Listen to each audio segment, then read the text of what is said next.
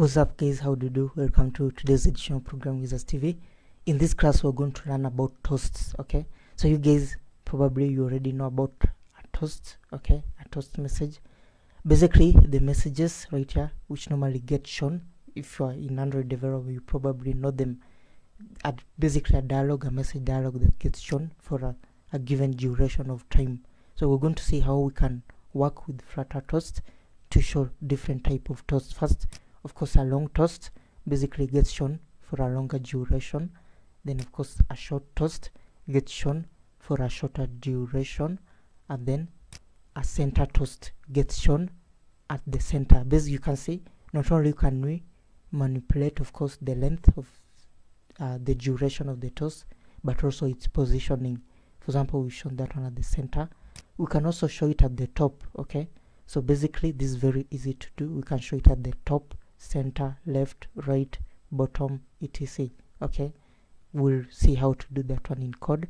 And also showing a colored toast these are colored toast that you've seen right here. Okay? So we can manipulate all these of course with our toast now this of course is in the portrait mode. Let's also look at our app in the landscape mode. Here we have it in the landscape. You can show a long toast you can show of course a short toast which gets dismissed after a small duration of time. Then of course a center toast gets shown at the center. And then of course the top.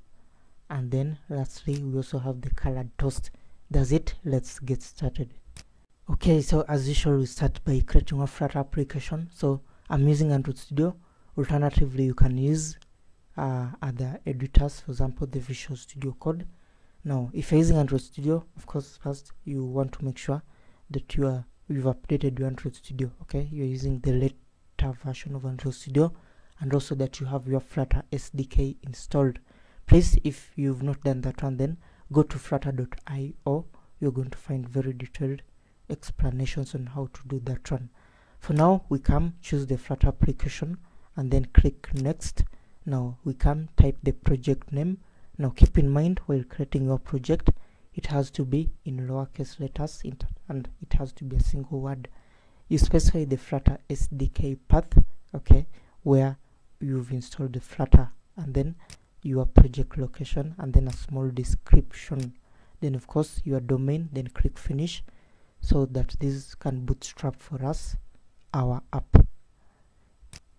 Alright so when our app is ready we first go over to our we have two main files that we're interested in okay? Now first file is this main.dart right here this is actually where we're going to write all our code. And then secondly we have this pubspec.yml this is where we manage our dependencies as well as write our configuration code. So first for example if you want to change the name of the app you can change it right here. If you want to change the description you can do so also here. And then we have the dependencies. So this is very important now flutter of course like in any modern framework of course provides us with a very efficient way for managing our dependencies. Now these dependencies can be local dependencies that is the sdk level dependencies as well as the third party library or dependencies okay?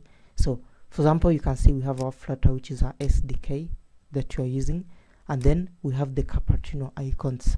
So Cupertino icons is of course a dependency but basically that allows to use the Cupertino icons as the name suggests okay? So Cupertino is actually an iOS style framework for Flutter. Now basically we also have material design or material material.dart or material framework which you can use or we can use the Cupertino uh, framework within Flutter okay? Which now Cupertino material will give us of course material design components while Cupertino will give us the iOS style uh, devices. Sorry the iOS style components. Now in this case we're interested in the icons. Now those that of course this is a local dependency.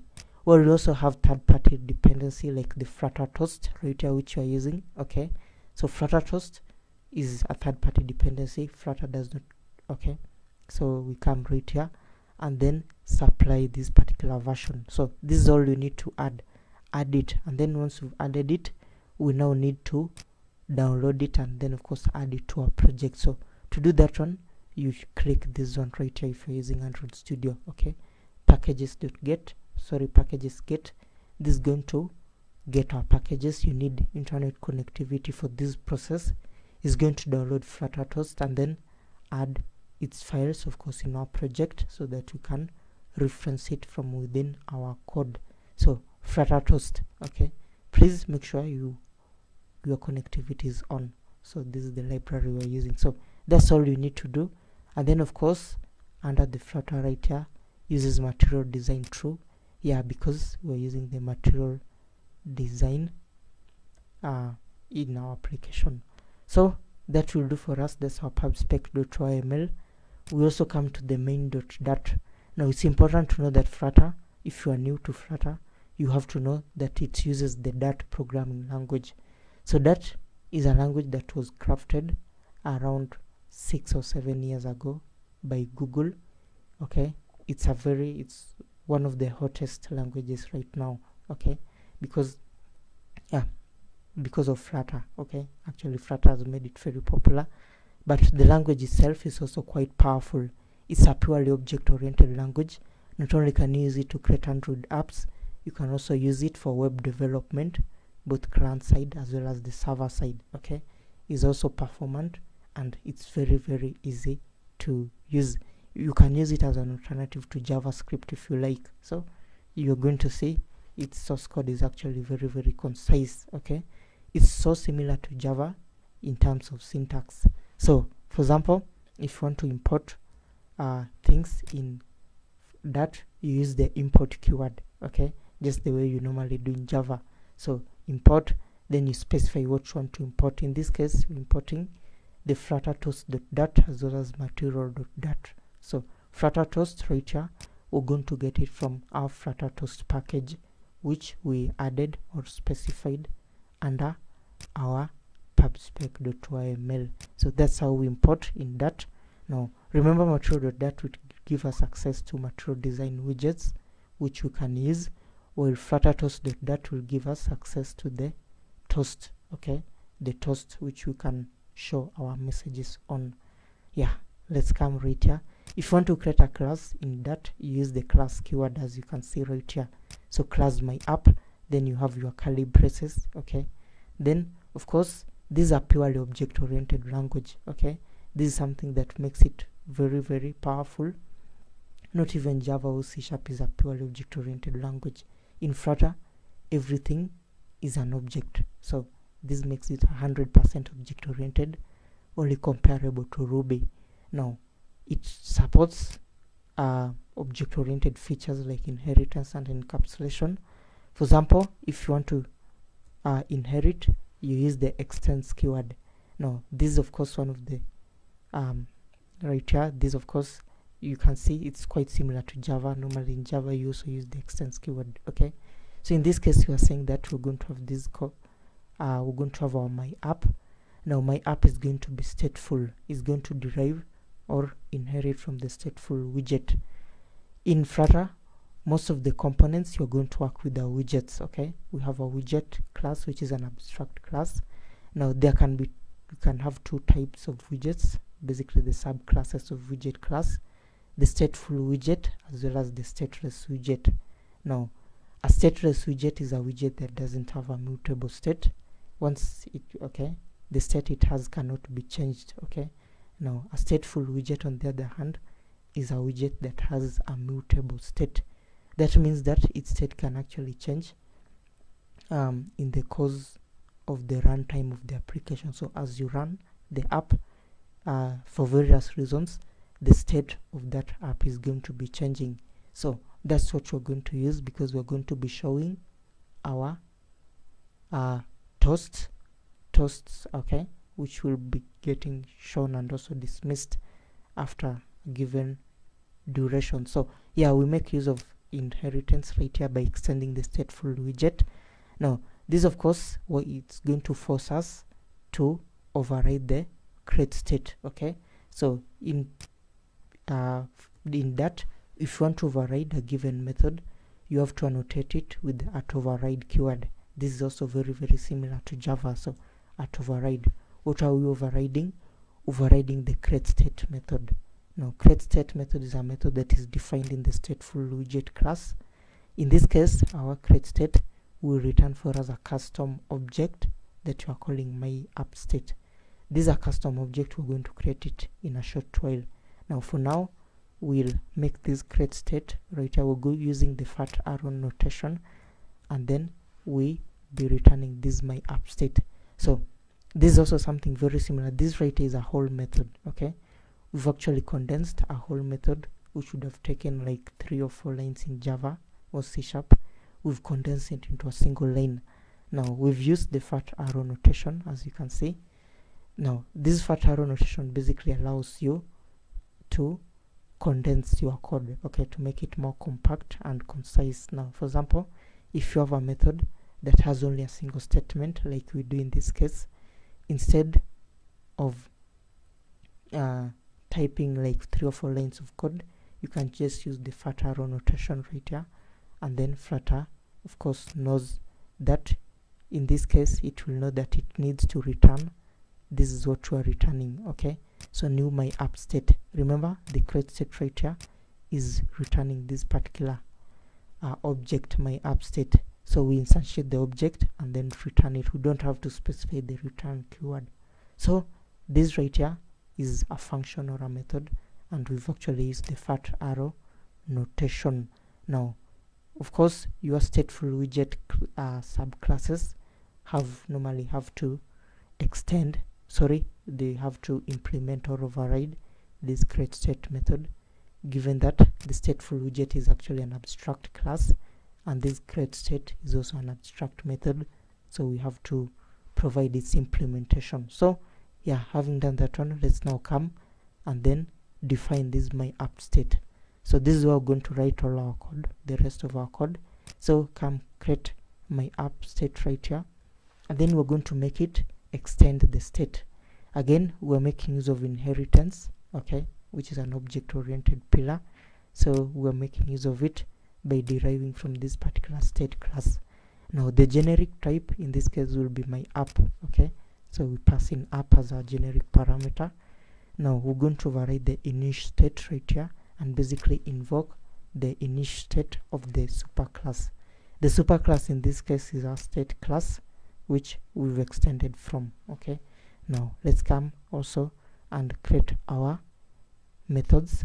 Of course if you are creating a method or a function now you specify the return type right here as you can see. In this case in that our return type is going to be void meaning that is not going to return um, anything okay? If you are coming from uh, object oriented languages like java or c sharp or c++ uh, you know what i'm talking about. So void show long toast. This method will be responsible for showing for us a long toast. So flutter toast dot show toast and then we come right here. We pass in the message. This is the message that will be shown of course in our toast. So we pass it right there and then we pass in the toast length. Toast length dot long and that's it okay? This is going to show for us uh, a long toast long toast basically means that it's going to show it for a much longer duration than the others toast okay? So that's what we mean by long toast so that will for us show long toast let's also see suppose you want to show a colored toast what are you going to do? Well you come invoke the show toast and then you provide uh, these particular parameters. First you provide the message that you want to show and then the toast length we're going to use this time round the length short and then the background color. Which background color do you want to use for your toast? Where well you specify that background color right here okay? And then what is the text color? You also specify it there. And this right here will show for us a colored toast. Now what about showing a short toast? Of course easy. We just invoke the short toast method we're going to provide the message which will be shown in our toast. Then the length you specify the length. Toast dot length short we're going to show a short toast okay? Yeah. You can also specify the duration. In this case we're going to show our toast for this particular duration okay? Now okay? Yeah. This is actually this is for ios if we're going to target the ios devices so that will show for us of course our short toast now let's also what about if we want to change the position of the toast? Suppose you want to show it for example at the top of the screen. Well you come right here you invoke the short toast method you pass in the message the length of the toast as well then the gravity. So if you want to specify the position for the toast you're going to use the gravity okay? So gravity where will our toast gravitate towards? In this case toast gravity dot top. This is going to show it at the top okay? So yeah at the top of the screen. What about if you want to show it in the center? Again all you're going to have to modify is the gravity. Of course you can also use the right or center or bottom okay? So using the toast gravity enum right here. So that will do for us. Those are the four or five methods which will allow us to show our toast. Now remember this particular right here is our stateful we're doing all these of course under our my app state okay? So let's also come and then override the build method right here which should build for us and then return for us a widget. This widget we're going to return is going to represent for us our application. So remember it will be stateful. It will be stateful because it's going to have a state okay? So meaning that it will have a mutable state. So normally the build method receives a build context and then we need to return a widget. The widget will be returning its own material app given that we're using the material design right here. And then you specify the home okay? What will be the home for this particular material app well we're going to scaffold it. So we come we use the scaffold class. We specify the app bar app bar is the toolbar of our application. Is where we're going to show of course the title. So title we specify it right here. Is basically a text widget that we're using. So you pass in the text in the text constructor. Then having done that one you come and then specify the body. So yeah we specify the app bar of the app.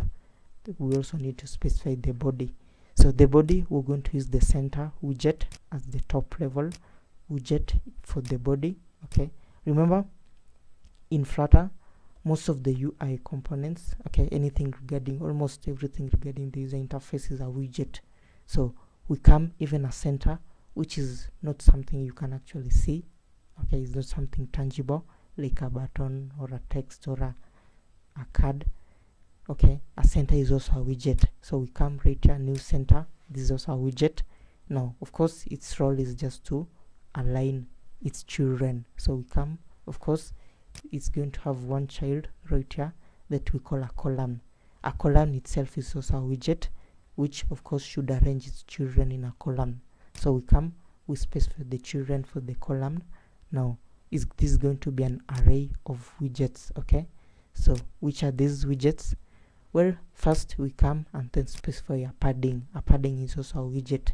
So the padding of course is responsible for as the name suggests padding or spacing uh, our components or its children okay? So we come right here padding. Then edge insets dot all. We're going to have of course the 10 dp all around the children of this particular padding widget. So what will be the child for this padding well it will be our raised button okay? So we're going to have this particular button a raised button. Now this button right here of course we'll also have a child which is also a widget which of course in this case is a text. So show long toast this is of course the first child for this particular uh, is the child for this particular raised button. So one development pattern that you may have been noticing in flutter okay is how much of course you are nesting of course our widgets okay? We're nesting them so much that you can see android studio is um, giving us of course trying to help us of course into uh, knowing of course the widget that we're enclosing. For example this right here is a raised we have the raised button right here then we have the padding then we have our widget array then the column okay? So we're using a nested way of programming. So we specify the text property for that particular button. Then of course we're going to listen to the on pressed events. If you press that button what are we going to do? Well we're going to show the long toast okay? We just invoke the method which we're going to be showing. So yeah that's the first child for our column now the second child is also going to be another padding. This padding will also have of course its edge insets right here to 10 dp and then it will also have its child as a raised button. The raised button will have its child as a text and then it will listen to the on press events. When pressed we're going to show a short toast okay? So we're going to invoke the show short toast method. Now that's the second child of our column. The third child also a padding and also we come our raised button also when pressed we'll invoke the show center short toast okay? And then also we have another padding right here when pressed we're going to show the top toast okay? We're going to show a toast at the top of our screen. Then of course the last padding we're going to have it which is going to show for us the colored toast okay yeah so that will do for us. So basically all those paddings they're also widgets themselves so they can also have their own children. For example like the raised button and the raised button can also have its child as a text. So basically in flutter you can actually easily nest your widgets okay? And this of course makes it very very intuitive and easy way to make flexible applications. So that will do for us right there. So yeah that is of course the child of the body. Remember the body has its child as the center and the center of the particular the child of that center of course is the column now in the column of course we have those particular paddings. Those paddings uh, padding widgets. Of course they also have their buttons which when clicked will show different types of toasts. Yeah so that is it. That one we're doing it of course inside our scaffold. Now outside the scaffold come right and then specify the theme for the app okay? So new theme data then you can change the color. The primary color for example i'm using the deep orange for this particular app. That will be the theme for my app. Now that will do for us right there okay? So that's our material app over there. So having done that one let's now come and then have our main method. Again this main method given that we have only a single statement we can condense it of course into a single line using the fat arrow notation. So fat arrow notation we use it right here and then we specify what will be executed. Now what will we execute in this case? Well we're going to execute the run app method. So this run app method is going to run our application and it expects us to pass a parameter that parameter of course we're going to pass our my app instance which of course is our stateful widget class representing our my app. Of course this right here will run our app. Now this main method this is the entry point to data applications okay? Yeah so that will do for us. So guys that's all we need to do. Of course that's our full code. This code we're going to find it of course in our website camposha.info so you want to go check it out right there. To run this app first you need to make sure that your device is online or not online as in internet but you have your device running okay? Either you've connected via the usb cable or you have your emulator up and running. No if you have your emulator or device you're going to see it right here okay? So go ahead click it to run. If you're not able to see it then an alternative way for running your app is to basically use uh, you can go ahead and then use just navigate you can use the command line to build that particular application okay? So you don't have to use the to connect the device directly. For example just navigate over to that particular app.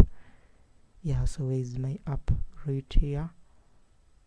Okay mr toast. So mr toast this is how i named it. So this is my app for example. Suppose i want to run it from the command line. Now navigate over using your command prompt navigate over to the project location right here. Or if you have your git installed which i do you just right click then git bash here. So you go over right here okay? Now if you don't then you have to cd over right there from your command prompt. Then having done that one you go ahead and then type this one flutter.bat then build apk now this command writer will build for you the apk okay? So flutter.bat build apk is going to take around three of to four minutes. If you have a slow machine it may take up to five minutes. So three to four minutes it will build it and then of course you're going to find your application right here under the outputs under the apk so here apk so we have it. Of course you can then drag this apk into a device or your emulator and then it will run. So that's all we need to do guys. Of course make sure you guys subscribe to our channel. We're doing tutorials on a daily basis and we're covering of course android development mostly. So you want to make sure you subscribe so that you stay tuned with us at programming wizards tv otherwise share the video like it and find the source code in our website. Take care and catch you in the next class